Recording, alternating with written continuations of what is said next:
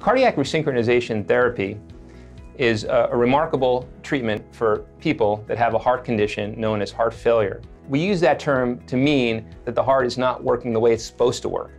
And in particular, it usually means that the heart is not pumping out as much blood and as much oxygen to the, to the organs of the body as it should. And as a result, patients have symptoms such as shortness of breath and tiredness and sometimes arrhythmias as well. The cardiac resynchronization therapy is designed to improve outcomes for these patients, make them feel better, decrease their risk of hospitalizations, and help them live longer.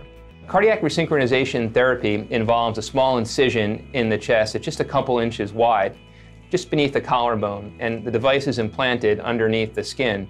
As a result, there's not the typical longer recoveries that you may see with cardiac surgery in which the chest is open.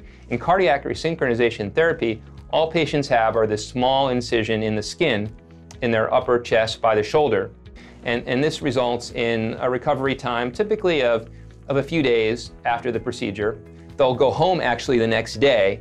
And then during the next few days, we ask them to take it easy. Don't do a whole lot, get a little rest. But there really isn't much that, that requires recovery other than that after the procedure. We offer patients a fantastic follow-up program, including assessment of their functional capacity and heart function and, and symptoms at six months, 12 months after the, the, the procedure. And, and this, this follow-up program actually includes optimization of the device through programming. You can also, via a computer, program the timing of pacing impulses to, to occur in different ways uh, through the device. It makes a difference how you time the pacing impulses. And, and, and this requires expertise, and it's something that we offer here at UVA.